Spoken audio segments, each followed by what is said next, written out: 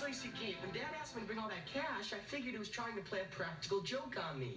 Oh, what? You should have known your father wouldn't lie. That's what I told him. Yeah.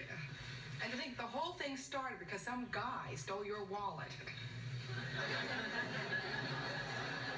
Tisk, tisk, whatever happened to honesty? Well, all's well that ends well.